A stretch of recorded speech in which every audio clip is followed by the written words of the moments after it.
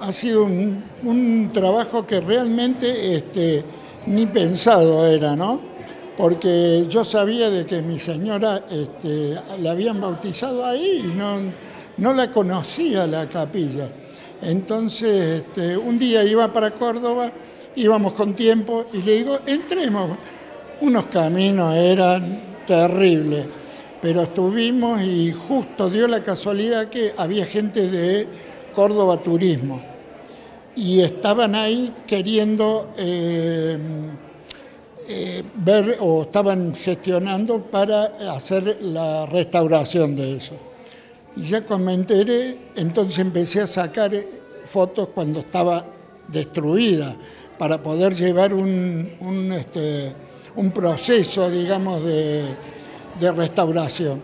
¿Qué cantidad de fotografías se están exponiendo y por cuántos días se quedará la muestra? Bueno, la, señora Marcela nos, este, nos recomendó, dice, me traen únicamente 40 fotos.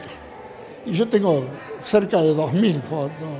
O sea que tenía para elegir y con Estela, que es la, mi profesora, estuvimos, qué sé yo, como 15 días seleccionando, no sabía cuál, digo yo, cuál llevamos. Y empezamos a descartar, a descartar y llegó esto, que la verdad que me gusta más, porque si poníamos mucha, tenía razón, se pierde un poco el, nivel de, de la foto y de la... Pero está muy lindo, muy lindo. Por último, en este trabajo que ha realizado, ¿qué desafíos implicó desde la cuestión técnica, de la cuestión logística para poder llevar a cabo todo el registro fotográfico de, la capilla del Tegua? Bueno, eh, yo por supuesto, hará cinco años que estoy con, fotografía, pero antes no sacaban ni, ni con el rollo, ni siquiera.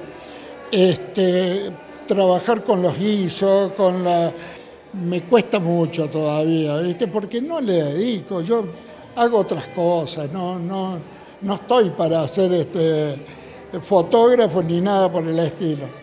Pero esto, mira, es un alegrón que estaba, estaba muy, muy emocionado, la verdad.